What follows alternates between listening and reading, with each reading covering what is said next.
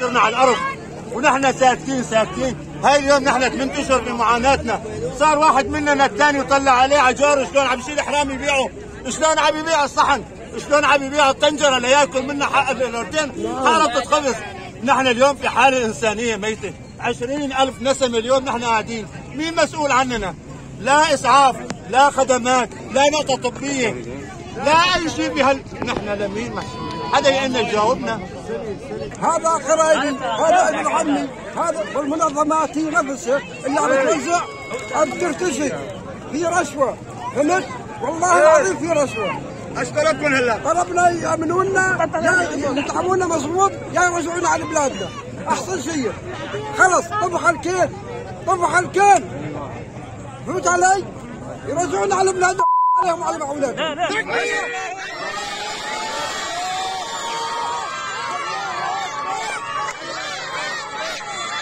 Thank you.